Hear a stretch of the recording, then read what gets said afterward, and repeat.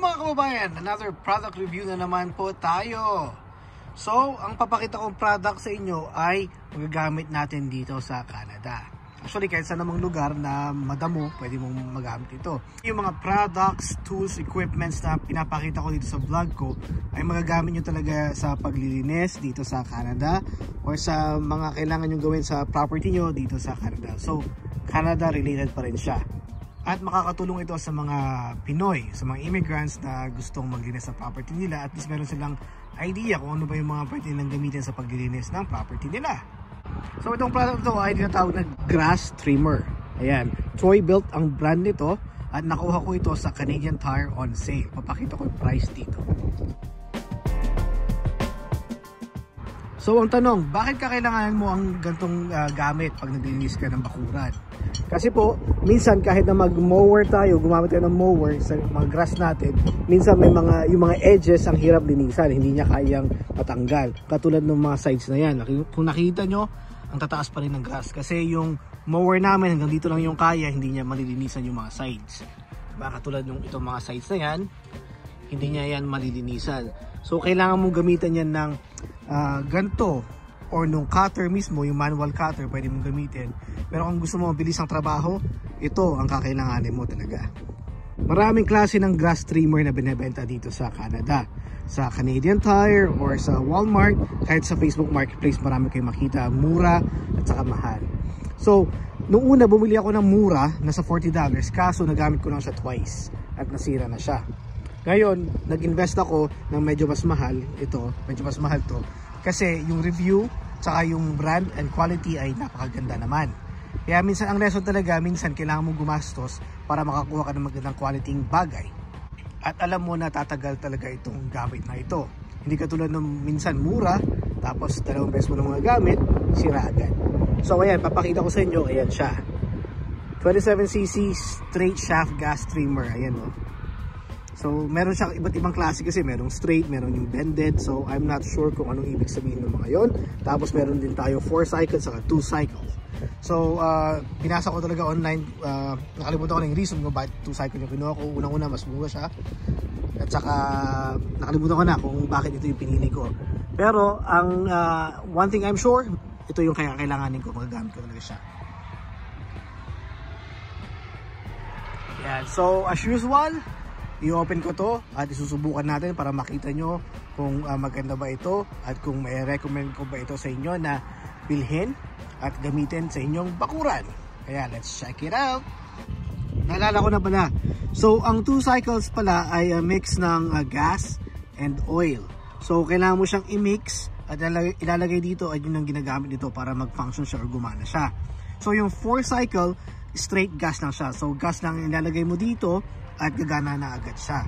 So kumbaga may, mas marami pang kailangan to, mas maarte kaysa dun sa 4 uh, cycle. Pero mas mahal yon. Ito mas mura ng konti. Siguro nasa 50 to 100 dollars yung difference.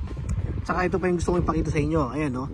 Kaya ako pinili itong uh, gamit na to, itong brand na to. Kasi yan, ang dami niyang mga accessories or extensions na pwede mong ilagay. So, hindi lang yung kung anong meron ngayon, hindi lang ito.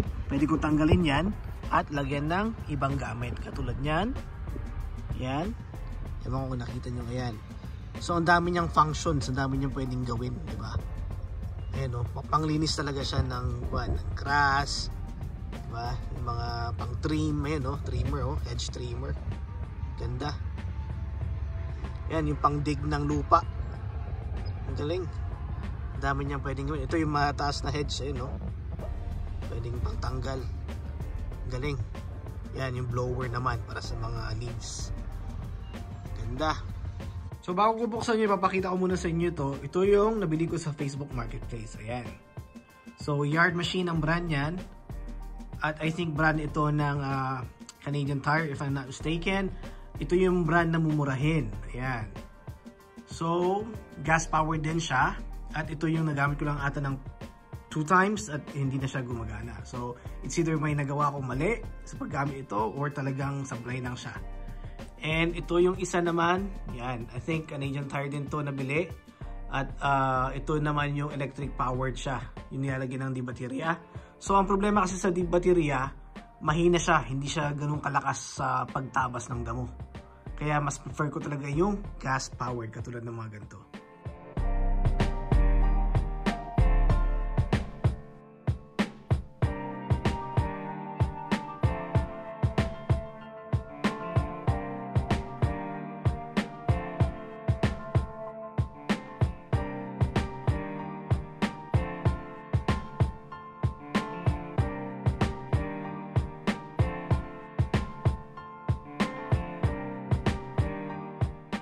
So ayan, as you can see, very straightforward lang siya pag binuksan mo yung box. And so ayun yung engine, at saka lagay ng gas. At ito na yung cutter. Ayan, gas cutter na part. So eh, yan, lalagay mo lang, kakabit mo lang na ganyan. At ayun, buo na siya. Diba? So parts naman, napakasimple lang din, dalawang klase lang. Ito yung protector dun sa may cutter. Yan, lalagay mo lang siya dyan, ganyan pang protect dyan. Saka ang maganda dito meron din siyang ganyan no? ano tawag dyan. Yung, ito yung nagkakat hindi siya blade. Ito siya. So saka next yung hawakan. Ayan.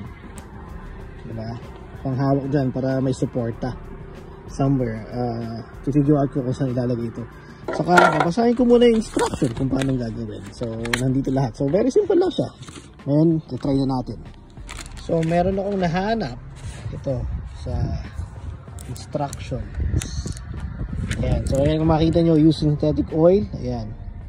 Nandito yung reason kung bakit. Ayan o. Ito yung mix niya. Use pre-formulated canned fuel.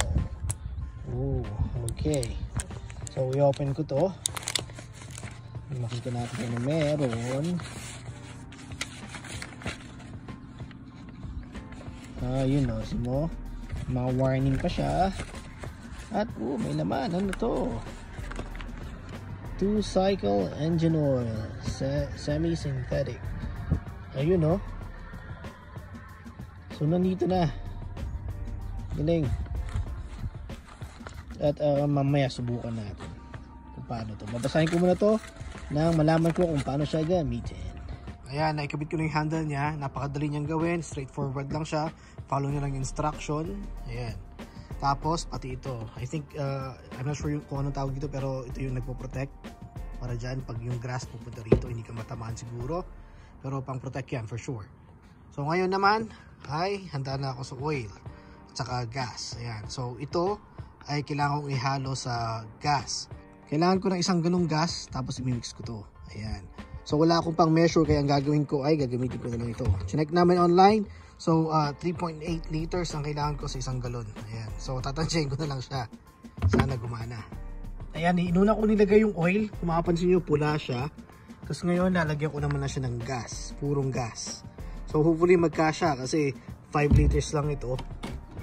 So I'm not sure. And binabawasan ko na yan. So tingnan natin, tatansyahin natin.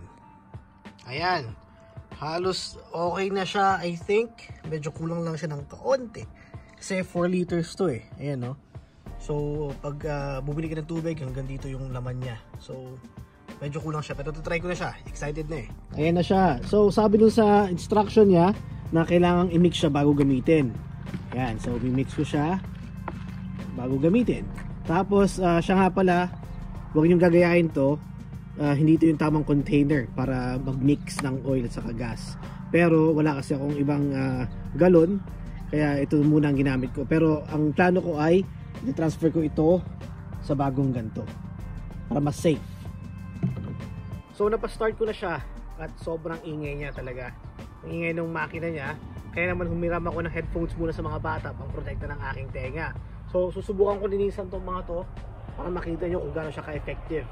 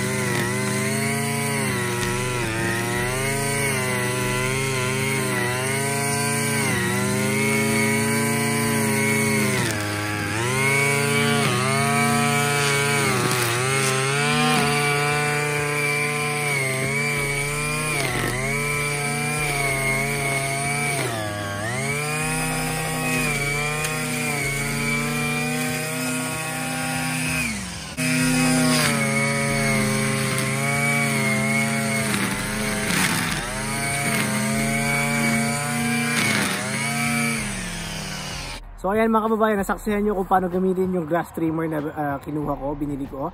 So napaka-effective niya, ang smooth niyang gamitin, medyo mabigat siya pero okay pa rin, okay pa rin siya. Tapos uh, pwede siyang pambabae pag para sa mga wife, kayang-kaya nilang buhatin to at uh, gamitin for sure.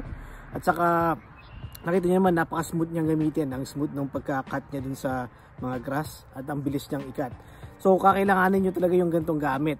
Uh, Lalong-lalo na pag madalas kayo naglinis ng property nyo, ng lawn nyo. Napala, napakalaking tulong talaga nito. Tapos sa pangapalang tips, kailangan nyo talaga ng eye protection. So yun ang kukunin ko maya maya sa garahe, yung para sa mata, anything na glasses. Kasi kung makapansin nyo, nagsisitalsikan yung mga grass sa katawan, saka sa, yun, sa balbas ko, saka minsan sa mata. So delikado pag may biglang bato or anything na heavy or metal na biglang tatama sa mata nyo, di ba? Kaya kailangan may protection talaga sa mata nyo. So, ayun mga kababayan, sana nagustuhan nyo itong video na to. Please don't forget to like, subscribe, and share. See you naman sa aking mga next videos. Like always, peace!